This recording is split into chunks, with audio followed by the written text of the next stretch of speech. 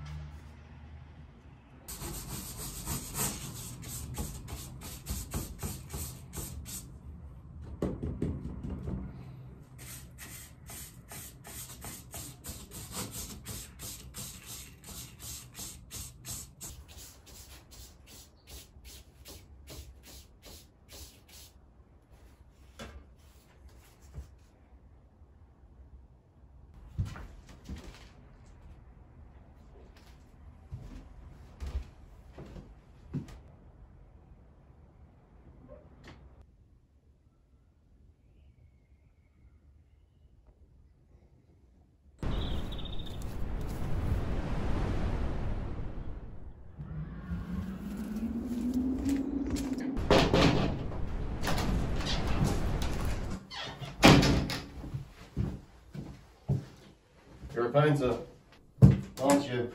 I heard you lot do that. You barge into everyone's houses without a care in the world. These are yours, Mr. Wallis. Alfred Wallis. And yes, they are. How long have you been painting? A few years now. And how did you come up with these pieces? Everything I painted, it's real, you know? They happened. Mr. Wallis, I've been trying to set up an artist colony for a while now.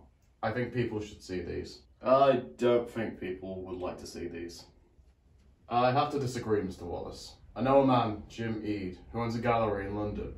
I think he and many others would love to see these. I can pay you for some right now.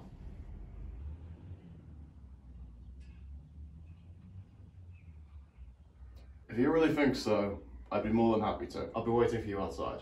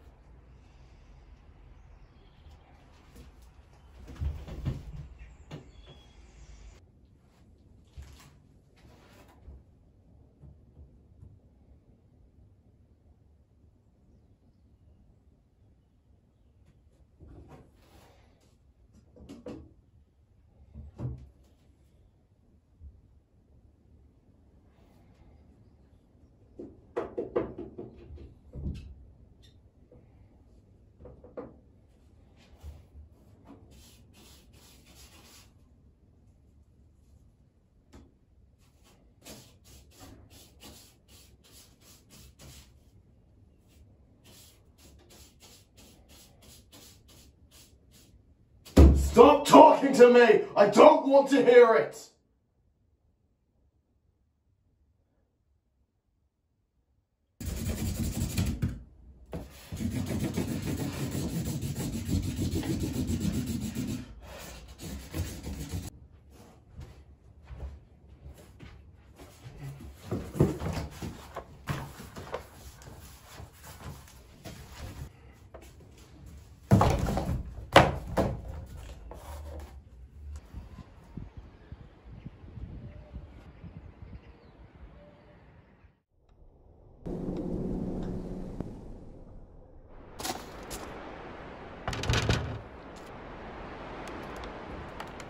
Mr. Wallis, could you please come with us?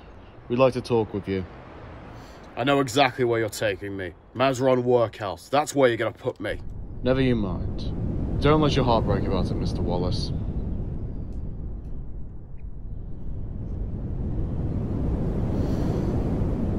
I don't care where I go anymore.